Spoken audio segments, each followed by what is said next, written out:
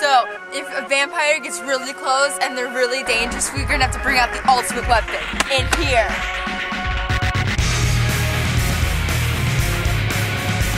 Hello, Mr. Ant. Are you a vampire? I think we've already found our first set of vampires. It's quite scary.